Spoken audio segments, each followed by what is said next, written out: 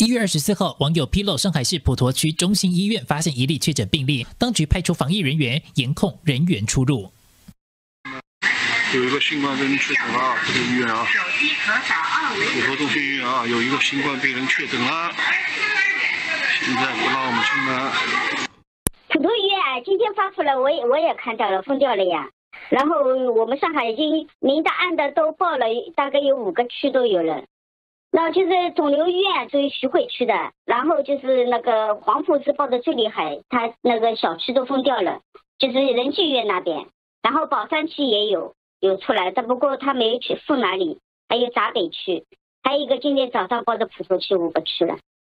普陀区的这个病例没有出现在上海卫健委二十五号的通报里。当天官方的通报说，二十四号零点到二十四点，上海仅新增一例本土确诊病例，在黄浦区的昭通小区，另有两例是境外输入。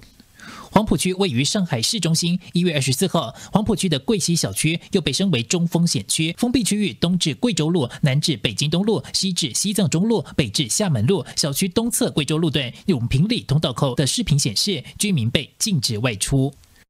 黄浦区政府新闻办官方微博二十四号说，这是由于二十三号发现一可疑病例与桂溪小区相关，但是微博实名认证律师披露，桂溪小区其实就是厦门路两百四十三弄，是之前确诊的病例二或三的住所。新闻说是可疑病例，实际现在已经确诊。黄浦区的昭通路居民区中福世福汇大酒店之前已被列为中风险区，复旦大学附属肿瘤医院、仁济医院闭环管理。拨侬看看叫，阿拉店里向有人勿哦，一个人也没个，侬看看叫，清清爽爽，只有自家两个人辣海，哎，南京路高头人也没个。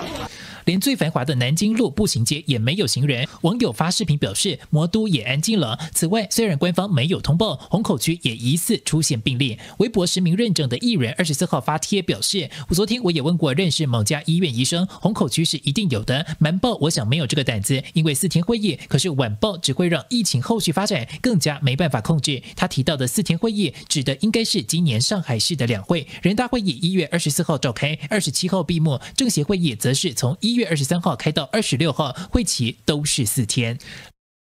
另外，有上海市民爆料说，虹口区的大柏树干修所的密切接触者被确诊阳性，干修所封闭管理，只进不出，进行全员核酸检测。而这名阳性病例是在上海同济君熙大酒店工作，是位主管。而同济君熙大酒店位于杨浦区，虽然当局没有通报杨浦区有确诊病例，但二十一号就有人在微博爆料，同济君熙大酒店上午就被封了，已经有医护人员开始消杀。酒店员工二十五号证实了这个消息。好，我们现在全酒店全暂时封闭隔离，不对外营业啊。呃，差不多要到两月十号左右了，好吧？上海市民侯女士表示，虽然很多地区已经处于半封闭状态，但是官方通报轻描淡写，很多人还是不警觉。应该实际上现在是很厉害的，你半封闭状态的话，有很多人都都还是大意啊，都没有警觉嘛。他这个官方报道都都不警觉很，他一波国旗，他这个消息都封锁，我们都不知道。就看看他这个情况，以前武汉的时候测体温，然后过了以后就不测了，然后现现在又又测了。